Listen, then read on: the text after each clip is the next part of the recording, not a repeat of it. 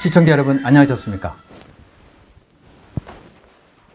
아, 오늘은 우리 대수장의 전략위원이신 신원식 장군을 모시고 부국이 빈국을 항상 이긴다는 것은 역사의 오해다라는 주제로 말씀을 나누겠습니다. 신영님 나와 주셔서 감사합니다. 네, 감사합니다. 에, 현재 에, 우리나라는 남북한 간의 현격한 경제력 차이로 인해서 북한은 더 이상 우리에게 위협이 되지 못한다는 낙관론이 대세를 이루고 있습니다. 아, 그리고 작년 2018년에는 북한과 9.19 남북 군사 합의를 체결함으로써 우리의 방어 체계를 스스로 허물고 있는데 이것은 꼰투 선수로 비유하자면 스스로 가드를 완전히 내리는 상태라고 봅니다. 현재 우리 방어 태세, 우리 국방 태세를 한번 간략히 진단해 주시기 바랍니다. 어, 우리 이 소위 안, 뭐 국방 태세 좀 더 확장돼서 이야기하면 안보 태세 세 가지 저는 기둥이라고 봅니다. 하나는 우리 스스로 우리를 지키겠다고 하는 우리 자주 국방 태세 그리고 또 한미 동맹 그리고 세 번째가 이제 국민의 안보식 이 세 가지 기둥인데요. 어, 구체적인 예를 들지 않더라도 문재인 정부 출범 이- 이후에 그 2년이 돼가는 사이에 이 세 가지가 어, 정말 놀라운 속도로 허물어지고 있습니다. 그런데 우리 국민들은 무덤덤하거든요. 왜 그럴까? 그거는 아 북한이 우리보다 너무 못 살기 때문에 더 이상 우리 적수가 아니라고 하는 그 무지와 교만의 소치가 아닌가. 뭐 저는 뭐 그런 생각까지를 합니다. 어, 2018년 통계는 아직까지 정확하게 발표를 안 했지만 2017년 GDP는 어, 월드뱅크에서 발표를 했거든요. 작년에. 거기에 의하면 뭐 세계 1위는 당연히 미국입니다. 우리나라가 12등이에요. 이제 북한은 우리 대한민국에 비해서 47분지 1입니다. 우리 인구가 두 배니까 대략적으로 추산을 하면 1인당 GNI는 우리가 23배쯤 되겠죠. 그렇겠습니다. 그러니까 이, 어, 전체 국부가 거의 뭐 50배 가까이 우리가 차이가 나니까 우리가 무장 해제를 해도 설마 북한이 이 우리한테 위협이 되겠느냐. 자, 사실은 북한은 어, 정규군이 거의 140만 가까이 됩니다. 예비군이 한 670만, 700여만이고요. 그리고 핵무장까지 했습니다. 사실 군사력은 우리보다 핵까지 포함하면 우리보다 압도하는 것이죠. 어, 단지 차이 나는 경제력입니다. 자, 그럼 역사상 부자면 무조건 가난한 나라를 이겼느냐? 이런 의문이 들지 않, 않으십니까? 그게 뭐 상식 아니겠습니까? 예, 그게 이제 소위 에, 부자 나라가 늘 가난한 나라 네. 이긴다고 하는 것이 우리가 사회적 통념, 영어로 하면 conventional wisdom이죠. 음. 이게 이제 쭉 퍼져 있는데 요건 인류 전쟁사를 보면요. 사실은 가난한 나라가 부자 나라를 이긴 것이 90% 이상입니다. 왜 그러냐면 경제력 차이는 전쟁의 승패 결정적인 요인 아닙니다. 그보다 훨씬 더 중요한 게 정신력, 음. 의지의 차원입니다.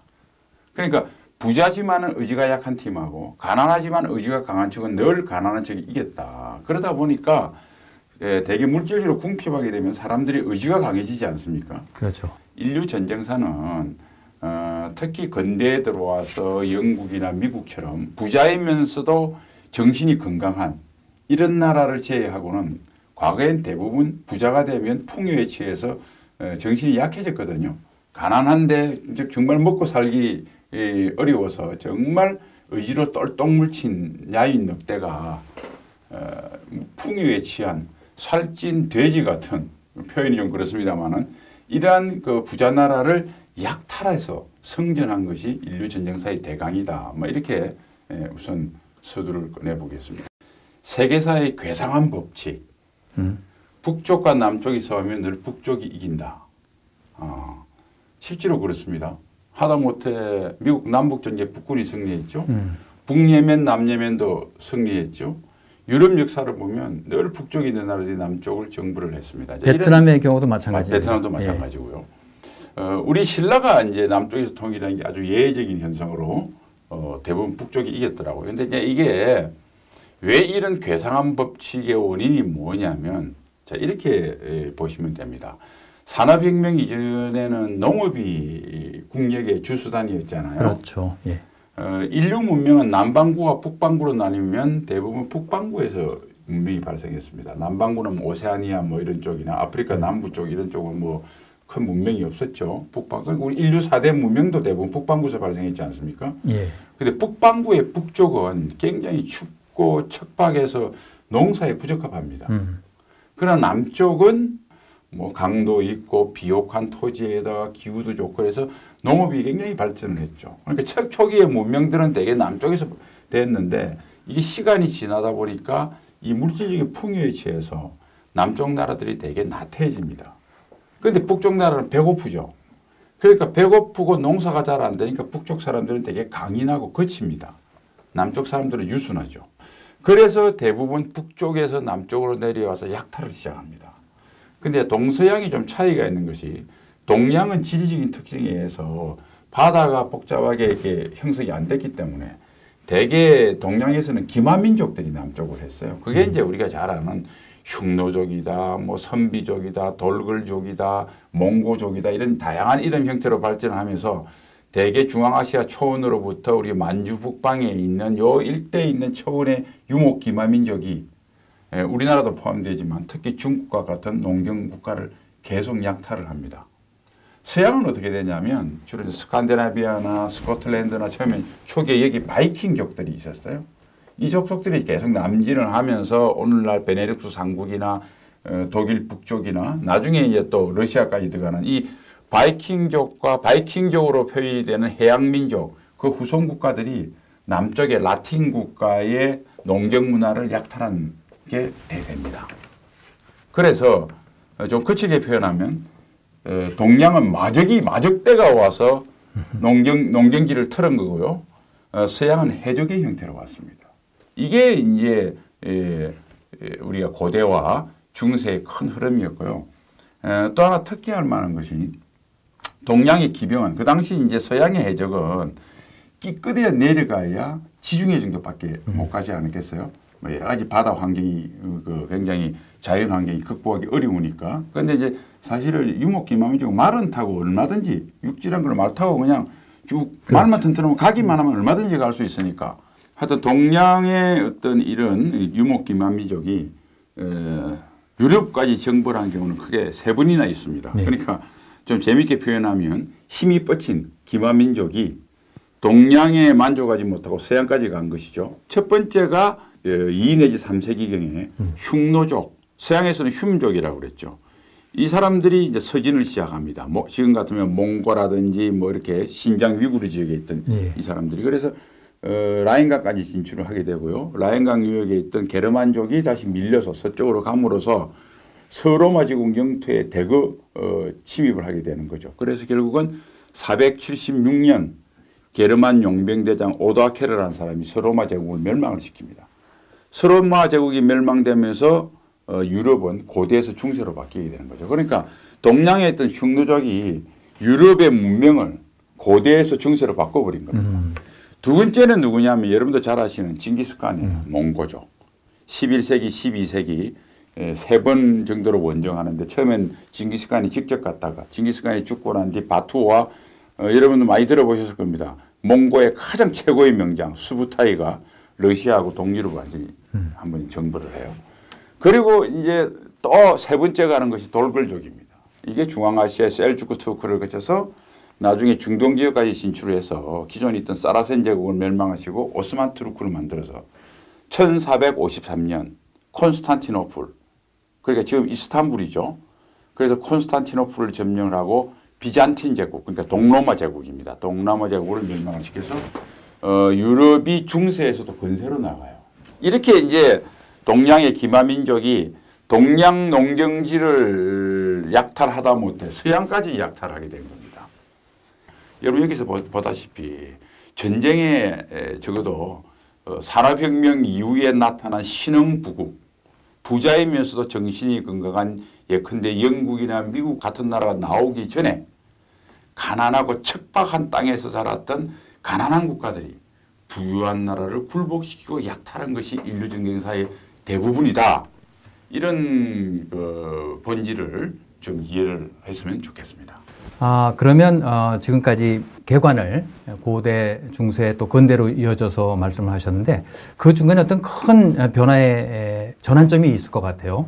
전쟁 승패에 있어서 그 부분을 한번 짚어주기 바랍니다. 그게 이제 산업혁명이라고 봅니다. 예. 그 전에 아까 말했던 농업혁명은 따뜻한 쪽에서 났잖아요. 근데 이제 사실은 유럽을 기준으로 해서 산업혁명 되게 북쪽에 춥고 배고픈 데서 나옵니다. 그렇죠. 영국에서 시작을 했죠. 예. 왜냐하면 농사가 잘 안 되니까요. 어, 그러면서 어, 이 좀 특징이 있는 것이 산업혁명 이후에도 늘 북쪽 나라가 남쪽 나라를 이깁니다. 강대국이 됩니다. 그런데 농업화 시대 때는 북쪽 나라가 가난했는데 산업화 시대에는 북쪽 나라가 부자입니다. 그렇죠.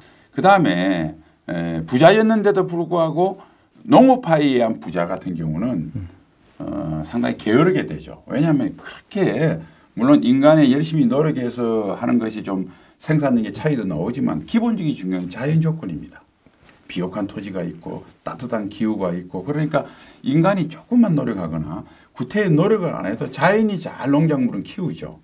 그러나 공업이라고 하는 것은 끊임없는 경쟁에 자기 혁신과 노력이 필요합니다.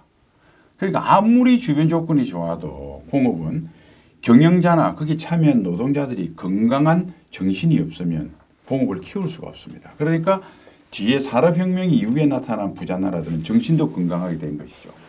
그 다음 이제 좀 하나 비교를 하면 그러면 아까 말씀드린 동양에도 똑같은 기마민족이 있었고 서양은 해양민족이 있었는데 왜 동양의 북쪽 기마민족한테는 산업혁명이 안 일어났을까요? 가난하고 배고픈데 이게 바다와 육지라는 차이입니다. 육지는 바다에 비해서 자연적 극복할 자연에 대한 도전이 훨씬 약합니다. 그렇죠.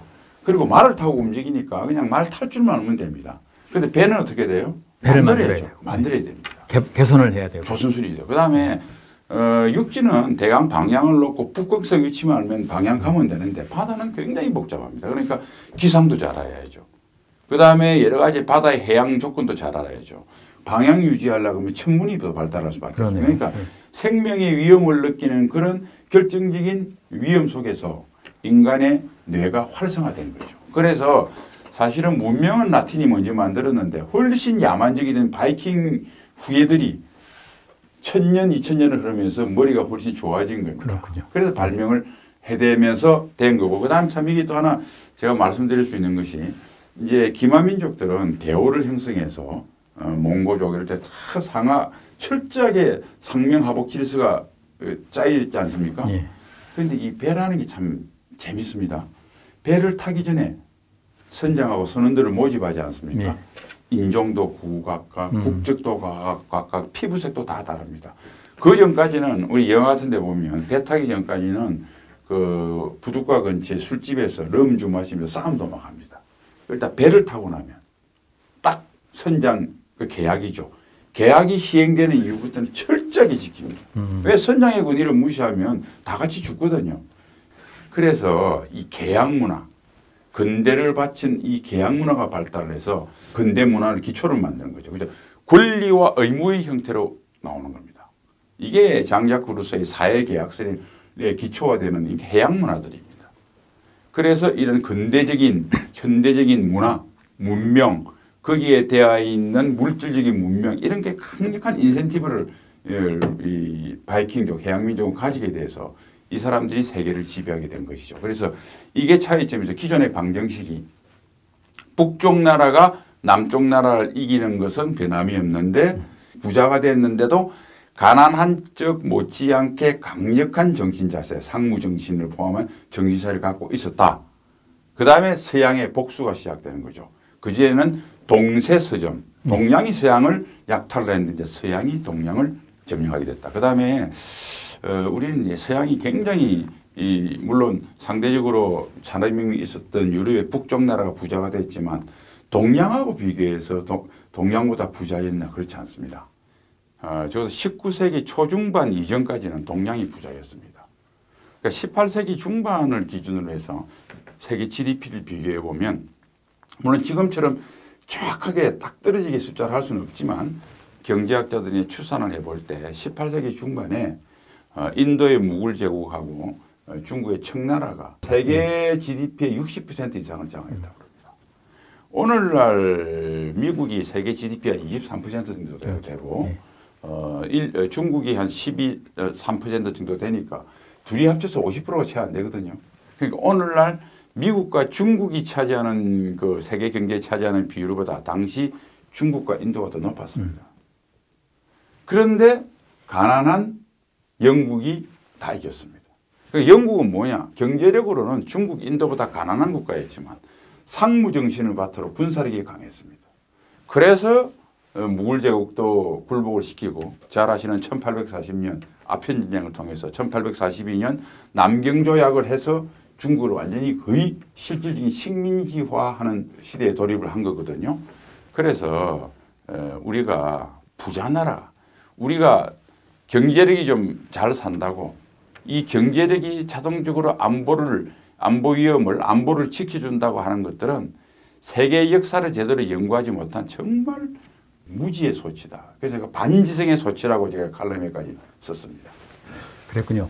어, 국력을 연구하는 많은 정치학자 중에 에, 클라인이라는 미국 정치학자가 있습니다. 네. 어, 클라인 박사가 제시한 국력 측정 어, 방정식에 의하면 우선 국력은 두 가지 파트로 어, 나누는데 예, hard power. 그래서 hard power는 인구와 경제력과 군사력을 더하는 거고요.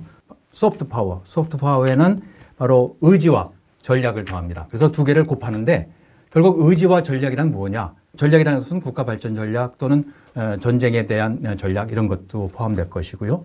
의지는 바로 어, 외부 위협 세력에 대한 우리 항전 의지겠죠. 만일에 이런 항전 의지가 없다면 아무리 hard power가 강해도 결국 이 국력은 떨어질 수밖에 없다는 결론에 이르게 되고요. 그럼 그런 관점에서 이것을 뒷받침할 수 있는 전사 몇 가지 한번 소개해 주시죠. 예, 그 뭐 무수히 많은데 동양으로 예를 예. 들면 11세기 이후에는 뭐 그전에도 그런 경향이 있었지만은 11세기 이후에는 더 철저하게 북방 기마 민족이 농경 민족인 한족 지금 중국 쪽을 틀어먹었습니다. 약탈을 했습니다. 여러분들 그 중국 역사를 한 5천 년 정도로 보고 그 중에서 이제 그 아주 옛날 고대 뭐 하나라, 은나라 이런 걸 빼고 춘추 전국 시대는 중국도 조그만했으니까 빼고 적어도 한나라 이후에 중국 한족이 세운 통일 국가가 많았겠습니까? 이민족 국가가 많았겠습니까? 대개 6대 4 정도 비율로 기만민족이 훨씬 중원을 차지한 비율이 많았습니다. 11세기 이후에는 확연히 그게 드러나요. 그러니까 여러분 아시는 송나라, 송나라가 어떤 나라였냐면 인구가 1억 명, 그 다음에 철강 생산이 12.5만 톤이라 당시 유럽 생산보다 두 배나 많았습니다. 유럽 10만 톤이 안 됐거든요. 유럽 전체 나라가 그만큼 어마어마한 나라였습니다. 그런데 인구 400만이 안 되는 거란한테 두 분이나 패했죠. 어, 거란 이후에 금나라한테 여진족인 금나라한테 패해가지고 결국은 그 남쪽으로 쫓겨갔습니다. 그걸 남송이라고 그러지 않습니까? 어, 그리고 결국 다 몽고한테 멸망을 했죠. 그 다음에 그뒤 우리가 어, 명나라가 있다가 한 270년 만에 또 멸망을 하는데 누구한테 멸망했냐면 청나라한테 멸망을 했습니다. 명나라 정도는 어떤 나라였냐면 어, 1억 5천만 정도 인구였어요. 세계 당시 인구의 23% 그러니까 4분의 1 정도 규모 되니까 오늘날 비슷할 거예요. 오늘날 세계 인구의 중국이 차지하는 비율과 거의 비슷한 정도로 많았고요. 경제력은 25%였습니다. 그러니까 세계 4분의 1이죠. 그러니까 오늘날 미국이 세계 경제의 22에서 23% 정도 차지하거든요. 그러니까 오늘날 미국이 세계 경제에 차지하는 비율보다 명나라가 더 높았다. 군대가 180만입니다. 자, 이렇게 어마어마한 나라인데 청나라 6만한테 한 달 만에 그냥 나라를 뺏기고 말았어요. 뭐 그것으로 부패하고 환관들이 하고 유 훌륭한 장수들을 거기도 어- 엄해하고 홍위포를 만든 그 포를 그냥 그 설계도를 뺏겨가지고 청나라가 가져가고 말이죠. 이자성의 난이 일어나서 뭐 북경을 점령하고 이런 뭐 어마어마한 내분에 거쳐서 그냥 허무하게 무너졌어요. 20세기 이후에도 우리가 잘 아는 예가 많습니다. 국공내전 때요. 그렇죠. 그러니까 장개석 군대가 430명에다가 전차, 비행기, 뭐 대포 다 있었어요. 모택동군은 120만이었거든요. 병력도 뭐 3분의 1인데다가 모택동 군대는 좀 심하게 표현하면 소총하고 수리탄밖에 없어요. 박격포맷.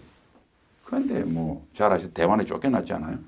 남북 베트남 마찬가지예요. 그 남베트남이 미국이 철수하면서 펜턴기까지 우리나라가 없을 때 펜턴기까지 해서 세계 최고의 세계 4위의 군사력이었는데 4개월 만에 저항 한 번 못하고 무너졌습니다. 그 다음에 우리가 중동 전쟁, 아랍과 이스라엘. 아랍하고 이스라엘은 뭐 인구 규모, 경제력 규모, 군사력 규모, 영토 도저히 비교가 되지 않은데 번번이 이스라엘이 이겼습니다. 여기서 뭘 느낄 수 있습니까? 물질은 정신 의지가 있은 다음에 그 다음 문제다. 근데 우리는 왜 부자 나라가 이긴다는 잘못된 통념에 젖어 있을까? 이게 저는 보면 미국 한미 동맹 때문에 그렇다고 생각합니다. 우리는 미국을 근대 이후에 예, 우리가 미국을 익숙하게 봤잖아요. 그렇죠. 예. 우리가 해방된 것도 태평양 전쟁 결과 일본이 져서 그런 건데 그게 얼마나 강렬하겠습니까? 미국이 어마어마하게 부자거든요. 일본에 비해서. 예를 든다면 당시 일본의 2차 세계대전 직전에 어, 일본의 철강 생산이 400만 톤이었습니다. 미국이 1억 톤이었거든요. 그러니까 이게 뭐 게임이 안 되는 것이죠. 그러니까 아 부자는 이기는구나 이렇게 생각을 했던 건데 미국은 부자였지만 상대적으로 가난한 일본 못지않게 상무 정신과 정신이 건강했습니다. 그렇군요. 그래서 미국이 이긴 겁니다. 그러니까 결론 이렇게 되면 되겠습니다. 전쟁은 정신력, 국민 정신이 건강한 쪽이 반드시 이긴다. 국민 정신이 비슷할 경우에는 경제력이 강한 사람이 이긴다. 그런데 한쪽이 경제력이 강하고 한쪽이 정신력이 강할 경우에는 정신력이 강한 쪽이 이기는 것이 거의 대세다. 이렇게 이해하시면 아주 쉽게 이해가 될 것이다. 이렇게 생각을 합니다. 그렇군요. 그런데 지금 대한민국 말입니다. 상모 정신을 거론하면 이상한 사람으로 치부합니다. 우리 선조 임금은 임진왜란 때 통신사 아, 김성일 부사의 말을 믿고 평화를 쫓아서 전쟁 대비에 소홀했지 않습니까? 네, 네. 그리고 전쟁이 나고 나니까 중국으로 피신 가겠다. 이런 정말 용렬한 임금이었고요.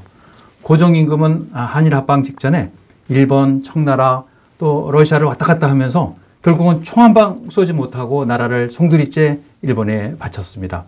이런 무능함의 극치였죠. 아, 문재인 대통령은 9.19 군사합의의 문제점을 지금 지적하면 아, 평화를 방해하는 세력이다. 그리고 한미 동맹의 이상을 얘기하면 아, 한미 동맹의 이간 세력이다. 이렇게 얘기를 합니다. 아, 지금 북한은 말입니다. 척박한 땅에서 고난의 행군을 거쳐서 주체사상으로 똘똘 뭉친 그런 병영 국가입니다. 그리고 그런 북한이 이제 핵까지 가지고 있죠. 그런 북한의 위협에 맞선 우리 대한민국 어떻게 나가야 될지 한번 그 말씀해 주시기 바랍니다. 예, 그 이제 대통령께서 이제 그런 말씀을 하더라도 예를 들면 국민이 건강한 상무 정신이 있으면 어, 그런 말은 못 하겠죠. 국민의 저항에 부딪히니까 국민이 그걸 수용하기 때문에 그런 이야기를 하게 되는 것이라고 보고요.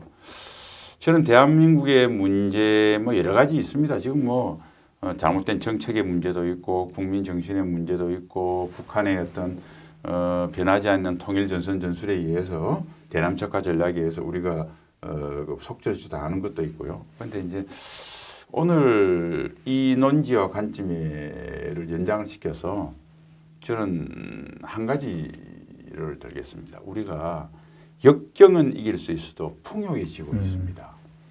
어, 영국의 유명한 그 역사가 철학가인 토마스 칼라일이라는 사람이 있는데요. 19세기 활동하신 분이에요. 그러니까 19세기는 영국이 해가 지지 않는 나라 빅토리아 시대라고 그러지 않습니까? 1815년에 나폴레옹을 격파했고 워틀루에서 아까 말한 1840년 잠자는 사자라고 해서 정말 에, 경애의 대상이었던 청나라를 또 그러면서 그, 그 이후에 미, 뭐 영국은 진짜 해가 지지 않는 나라가 됐거든요. 이 사람이 영웅숭배론이라는 책의 서문에서 역경을 이기는 사람이 100명쯤 된다. 그러니까 드문 거죠. 그때 인류 역사상 보면 국가로 그걸 비유해서 보면 세계 최 1등이 되는 것은 그몇 나라 안 되지 않습니까? 그렇죠. 예. 아주 드물다. 그런데 문제는 풍요를 이기는 사람입니다. 그러니까 정말 역경을 이기고 천신만고 끝에 세계 1등이 되고 난 뒤 그다음부터 찾아오는 풍요에 대해서는 다 졌다는 겁니다. 그래서 이 사람은 영국 국민들에게 경고를 한 거예요. 지금 영국이 나포 그 무시무시한 나토를 격파하고 청나라를 격파해서 해가 지지 않는 나라가 됐는데 진짜 결정적인 도전은 지금부터다. 이 풍요를 이겨내야 된다. 이렇게 한 겁니다. 자, 영국은 1등을 되고 난 뒤 풍요를 걱정하기 시작했고요. 미국은 1등을 지금 2차 세계대전 이게 몇 년째를 합니까? 그래도 풍요를 극복해 나가고 있어요. 근데 대한민국은 12등 해놓고 10등 안에도 못 들어오고 풍요에 지고 있습니다. 어, 저는 요새 보면 참 제가 서글픈 게요. 5천 동안 쪽이 적절한 비유인지 모르겠는데 뭐 저도 국민의 한 사람이니까 우리 스스로 반성한다고 생각하면서 한번 우리 자화상을 봅시다. 평소에 가난하게 살다가 갑자기 돈이 좀 생겼어요. 아, 이 돈이 생겨 너무 좋아. 그러니까 돈이면 다 된 줄을 안다고 막 돈을 쓰면서 막 그들먹거려. 졸부라고 그러죠. 그걸 졸부. 우리가 그 모습 아닐까요? 근데 여러분 우리 한번 봅시다. 우리 주변에 진짜 부자들 미국, 일본, 뭐 뒤에 좀 늦게 했지만 최근에 중국 이런 나라들 어마어마하게 부자고 땅 넓고 군사력 강하고 인구 많고 이런 나라 우리나라처럼 돈이면 다 된다 생각 안 합니다. 늘 긴장의 끈을 놓치지 않고 국민 정신을 지키고 그걸 해요. 중국, 일본 지금 군사력 증강하느라고 정신이 없습니다. 그렇죠. 예. 일본은 미일 동맹하느라 정신이 없습니다. 강화시키느라고. 그런데 그 사람들이 볼 때 우리 보고 뭐 어떻게 생각하겠어요? 이렇게 생각 안 하겠습니까? 아이고 가난하게 살다가 어쩌다가 주머니에 푼돈 좀 들어오니까 세상 무슨 줄 모르고 돈이면 다 되는 줄 알고 막 온 동네 돌아다니면서 티 뿌리고 어? 어, 어? 어시대고 참 아이고 참 이렇게 생각 안 하겠습니까? 이게 부끄러운 겁니다. 문재인 대통령이 이야기한 대로 아니 약소지향적으로 해서 어, 군 줄이고 한미동맹 그냥 해체길 나가고 평화 상대방에게 선이면 평화를 살 수 있다고 그러고 돈 없으면 사겠다는 거 아닙니까? 남북 경협 뭐 이런 거 해서 돈 좀 푼돈 좀 찔러주고 이렇게 하면 안보도 해- 안보도 돈으로 살 수 있다 그거 아닙니까? 졸부입니다. 졸부. 저는 이 우리가 가난하게 살다가 갑자기 다가온 풍요에 대해서 제정신을 잃고 풍요에 취해서 정말 본질을 잃는 그래서 어, 지금부터라도 이 풍요는 아무것도 아닙니다. 앞으로 갈길 멀습니다. 다시 우리가 역경을 이겨내고 가난한 잭으로 마음으로 돌아가서 우리 국민 정신을 밑둥부터 바꿔야 되는 그런 시점이라고 저는 생각하고 뭐 대안은 오늘 그 한 가지로 제가 추격을 하겠습니다. 우리 신원식 장군의 에, 얘기 듣고 또 오늘 대담을 나누면서 그 일제 강점기를 그린 어, 드라마 어, 미스터 선샤인을 떠올립니다. 마지막 장면에 어떤 멘트가 나오냐면요. 아, 독립된 조국에서 see you again. 음, 그 상황이 왜 생겼습니까? 결국 나라를 뺏겼기 때문에 생기지 않았습니까? 그리고 어, 정규군이 또 조정이 못하니까 이제 국민들이 나선 거죠. 음, 그래서 우리나라는 임진왜란 때는 의병으로 또 일제 강점기에는 독립군으로 우리 예, 백성들이 정규군보다 더 강한 의지와 능력을 보여줬습니다. 아마 지금 대한민국의 리더십 무능과 용렬함을 넘어서 이제 오지랖까지 넓다는 평가를 받고 있습니다.